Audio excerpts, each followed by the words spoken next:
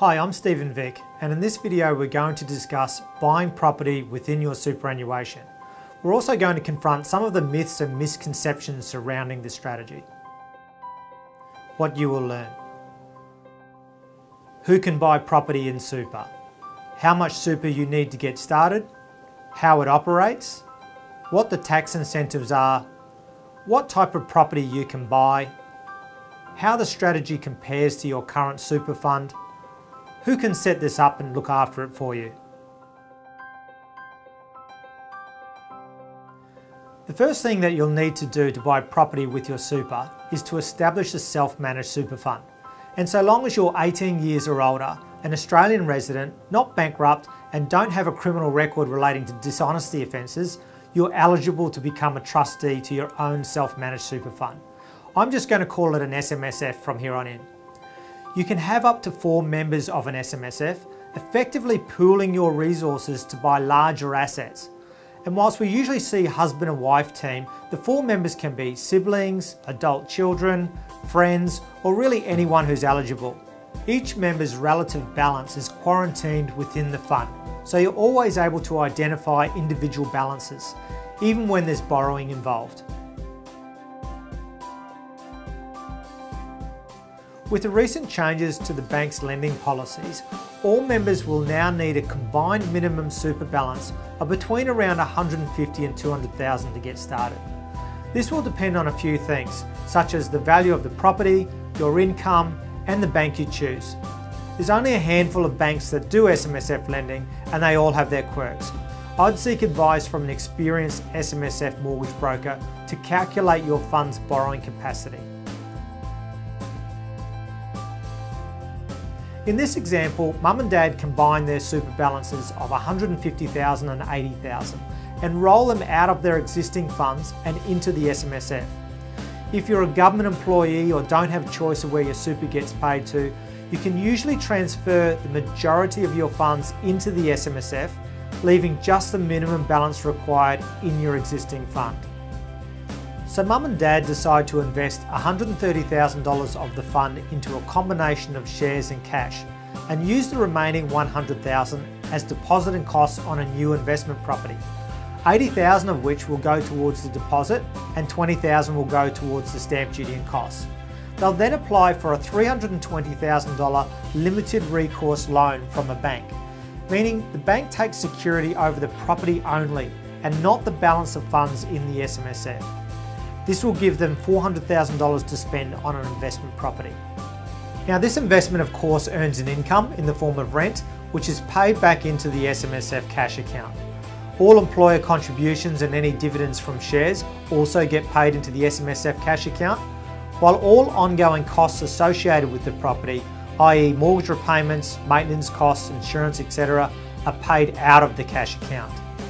If structured correctly with the right assets, the fund will continue to have a positive cash flow and will never require any additional personal contributions to sustain the structure. This should be a long-term set and forget strategy with minimal stress or involvement. There are significant tax concessions for any assets held inside super, and this includes property. Rental income is taxed at a maximum rate of 15% within your SMSF and not at your personal tax rate. This 15% can be reduced even further by claiming all property expenses against the income. Your life and income protection insurance policies can be paid for by the fund and these premiums can also offset the assessable income. In some circumstances, these deductions can reduce the income tax payable by the fund to zero. So it is possible to negatively gear inside super while still maintaining a positive cash flow to the fund. In addition, the capital gains tax rate on the sale of assets in accumulation phase is a maximum of 10% if the asset is held for more than 12 months and reduces to zero if sold in retirement. So you can see that buying property in super can mean saving hundreds of thousands of dollars in tax over the long term. Let me start this segment by saying there are a number of rules that relate to self-managed super funds generally, and it's worth watching our video entitled Self-Managed Super Funds Made Easy to understand your obligations as trustee of the fund. Firstly, I should explain that you can't take money out of your super to buy property in your own name. Your super monies must stay within the superannuation environment until you meet a condition of release. When it comes to buying property within super, not all properties are compliant. For instance, you can't buy the property from a related entity, which includes yourself. You can't transfer a property you already own into your SMSF unless it's a commercial property, and you can't rent the property to anybody you know. Loans and transactions must be done on commercial terms and at arm's length. If you've used a loan to fund the purchase, you're not allowed to improve the value of the property. The asset must be deemed a single acquirable asset, meaning you cannot buy land and build on it, and you can't buy a block of apartments or small development opportunity. Penalties for not complying with these rules are severe and should be taken seriously. On top of all that, the vendor or developer you're purchasing from must accept SMSF transactions. SMSF property purchases aren't as simple as normal property transfers and usually require longer settlement times. Lack of experience in this area often causes lengthy delays and can prove costly for the uninitiated.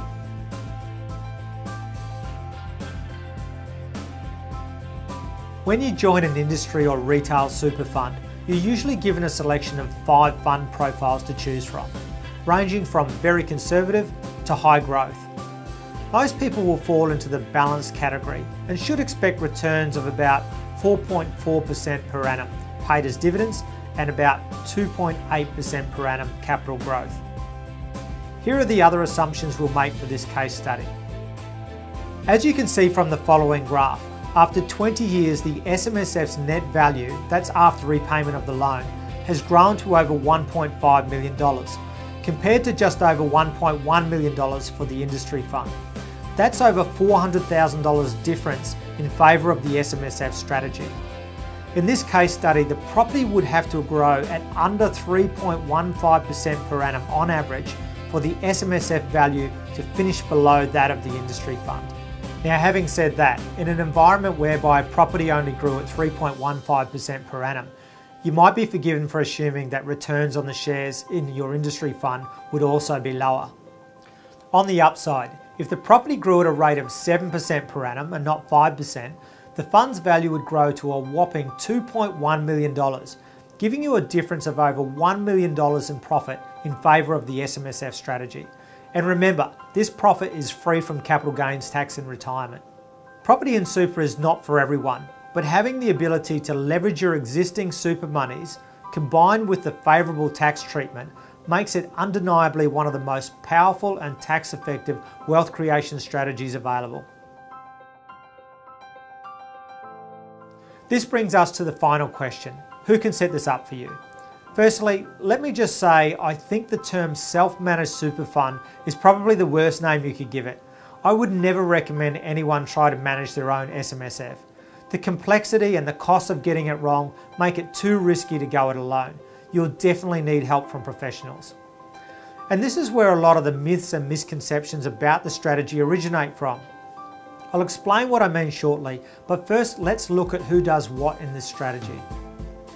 It's generally the financial planner who will model the strategy, explain the rules, and establish the platforms and cash accounts for the new SMSF. They can also set up the trust deeds, effect the rollovers, help meet your insurance obligations, and close any old funds. But here's the thing you may not be aware, but about 80% of all financial planners in Australia are owned or licensed by the big banks or institutions. These institutions make their money by managing share portfolios and are not licensed real estate agents. Therefore, they may try to talk you out of running your own fund, as of course will the financial planners from your existing super fund. An SMSF to them simply means losing control of your money. So look behind the name. You may find your advisor is partially owned or licensed by a bank. An accountant can also set up the trust deeds and explain your obligations but they're usually not qualified to set up your insurance and investments, do the rollovers, or settle any transactions. You're simply left to your own devices here. The ongoing administration, audits, and tax returns can be organised by an accountant or a specialist SMSF administration team. However, ongoing advice in relation to your investments and insurance obligations remains the domain of a qualified financial planner. A mortgage broker is the best person to choose the right SMSF loan and liaise between the vendor, the bank, the financial planner and three or four sets of solicitors to effect settlement. But the mortgage broker must be authorised and have experience in SMSF lending. Depending on the bank you choose, a qualified financial planner or independent solicitor that's not your conveyance solicitor will often be required to sign off on the loan documentation, just to acknowledge that you're aware of your obligations as trustee. Of course, we all think of real estate agents when it comes to buying property, but most agents are restricted to only a handful of suburbs and usually don't have access to new projects. Buyer's agents are a better solution here, but you'll still require a financial advisor or accountant to calculate the net yield and impact of the SMSF cash flow to know if the property fits within your SMSF strategy. Beware the property spruiker who is simply using SMSF and the services of an add-on financial advisor to sell their own properties. Most people aren't aware that their superannuation is not covered by their will. And given that a lot of our life insurance policies are held in super, the absence of a superannuation will or death benefit nomination can mean all sorts of problems for your loved ones on your departure. SMSFs are a fantastic vehicle for estate planning purposes and can be used for asset protection, reducing tax to beneficiaries, or even dealing with issues facing troubled or blended families. An estate planning solicitor is best placed to give this advice, but it should be done in the context of your overall wealth management and protection plans. So to set up and run this strategy effectively usually requires an accountant, financial planner, mortgage broker, real estate agent and solicitor. For optimal results, they should all be working together in a strategic and collaborative way. In my opinion, the only group of professionals that do this well are independently owned and licensed private wealth managers. If you don't know what private wealth management is, then watch our video entitled What is Private Wealth Management? But essentially, private wealth managers bring together all of the financial services required to build and protect personal wealth. It's almost impossible to implement this strategy yourself without making mistakes that end up costing you more than what it would have if you just paid the professionals to do it. Enlisting the help of experienced and qualified specialists is the best way to ensure the transactions are implemented in a cost-effective and compliant way. Having said all that, if appropriate for your circumstances, this is a strategy that can make an enormous difference to the end balance of your super fund in retirement. Of course, you won't be able to access your super until you turn 60, so it's important to build wealth outside of the superannuation environment as well, especially if you plan on retiring early. Go to the resources page of our website for more videos and ebooks on wealth accumulation. And happy investing!